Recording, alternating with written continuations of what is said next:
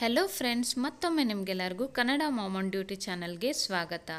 ಇವತ್ತು ನಾನು ನಿಮ್ಮ ಜೊತೆಗೆ ಮಜ್ಜಿಗೆ ಸಾರು ರೆಸಿಪಿನ ಶೇರ್ ಮಾಡ್ತಾ ಇದ್ದೀನಿ. ತುಂಬ ರುಚಿಯಾಗಿರುತ್ತೆ. ಇದು ನೀವು ಬಿಸಿ ಬಿಸಿ ಅನ್ನದ ಜೊತೆಗೆ ಈ ಸಾರು ಹಾಕ್ಕೊಂಡು ನಂಚ್ಕೊಳ್ಳೋದಕ್ಕೆ ಏನೇ ಇಲ್ಲದೆ ಇದ್ರೂ ಕೂಡ ಆರಾಮಾಗಿ ತಿನ್ಬೋದು. ಇಲ್ಲ ಇದನ್ನು ಸ್ವಲ್ಪ ಫ್ರಿಜ್ ಒಳಗಿಟ್ಟು ತಣ್ಣಗೆ ಮಾಡಿಕೊಂಡು ಎಲ್ಲಾದರೂ ಬಿಸಿಲಲ್ಲಿ ಹೋಗಿ ಬಂದಾಗ ಹಾಗೆ ನೀವು ಕುಡಿಬೋದು. So two in one recipe ಅಂತಲೇ ಹೇಳ್ಬೋದು.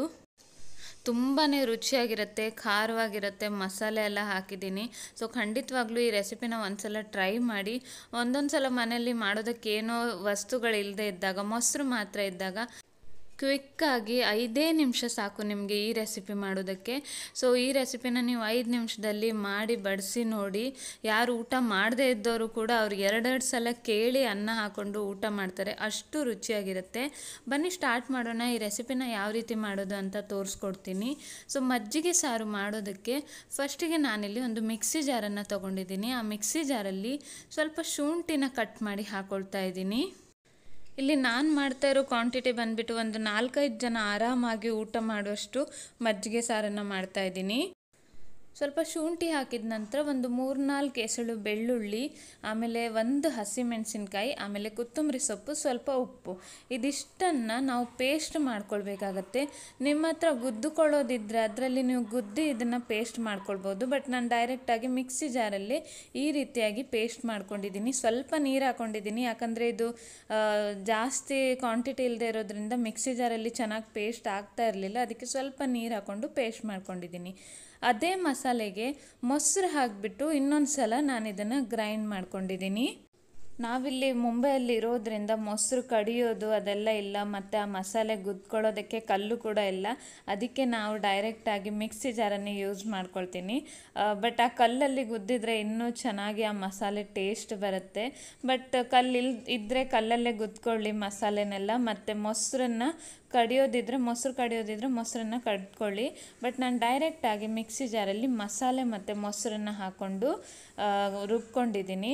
ಒಂದೆರಡು ಸಲ ರುಬ್ಕೊಂಡ್ರೆ ಸಾಕಾಗುತ್ತೆ. ಅದಾದಮೇಲೆ ಅದನ್ನೆಲ್ಲ ಒಂದು ಪಾತ್ರೆಗೆ ಡೈರೆಕ್ಟಾಗಿ ಹಾಕ್ಕೊಂಡ್ಬಿಟ್ಟು ನೀರನ್ನು ಹಾಕ್ಕೊಂಡಿದ್ದೀನಿ ನಾನು ರುಚಿ ನೋಡಿದಾಗ ಸ್ವಲ್ಪ ಉಪ್ಪು ಕಡಿಮೆ ಅನಿಸ್ತು. ಆವಾಗಲೇ ಸ್ವಲ್ಪ ಉಪ್ಪು ಹಾಕ್ಕೊಂಡಿದ್ದೆ ಬಟ್ ಇವಾಗ ಮತ್ತೆ ಉಪ್ಪನ್ನು ಹಾಕ್ಕೊಳ್ತಾ ಇದ್ದೀನಿ. ಖಾರ ನೀವು ನೋಡ್ಕೊಳ್ಳಿ. ಒಂದೇ ಹಸಿಮೆಣಸಿನ್ಕಾಯಿ ಹಾಕಿದ್ದೀನಿ ಬಟ್ ತುಂಬ ರುಚಿಯಾಗಿ ಖಾರ ಖಾರವಾಗಿದೆ ನನಗೆ ಆ್ಯಕ್ಚುಲಿ ವಾಯ್ಸ್ ಓವರ್ ಕೊಡಬೇಕಾದ್ರೆ ಬಾಯಲ್ಲಿ ನೀರು ಬರ್ತಾ ಇದೆ. ಅಷ್ಟೊಂದು ರುಚಿಯಾಗಿತ್ತು ಇದು. ಇವಾಗ ಇದು ಆಲ್ಮೋಸ್ಟ್ ರೆಡಿಯಾಗಿದೆ ಯಾರಾದರೂ ಬಿಸಿಲಿಂದ ಬಂದಾಗ ಇದನ್ನು ನೀವು ಡೈರೆಕ್ಟಾಗಿ ಕೊಡ್ಬೋದು. ಬಟ್ ನೀವು ಅನ್ನದ ಜೊತೆ ಊಟ ಮಾಡಬೇಕಂದ್ರೆ ಇದರಲ್ಲಿ ಒಂದು ಒಗ್ಗರಣೆ ಕೊಡಿ.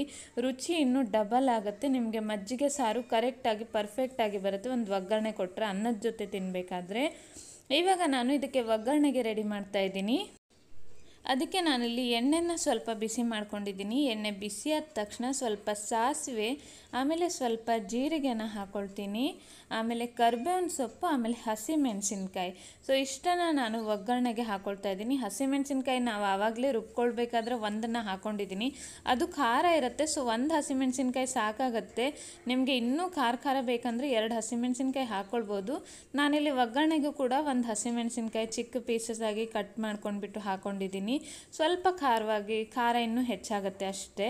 ಸೊ ಇದನ್ನೆಲ್ಲ ಇವಾಗ ನಾನು ನಾವೇನು ಮಜ್ಜಿಗೆ ಸಾರು ರೆಡಿ ಮಾಡ್ಕೊಂಡಿದ್ದೀವಿ, ಅದಕ್ಕೆ ಒಗ್ಗರಣೆನ ಹಾಕಬೇಕಾಗತ್ತೆ.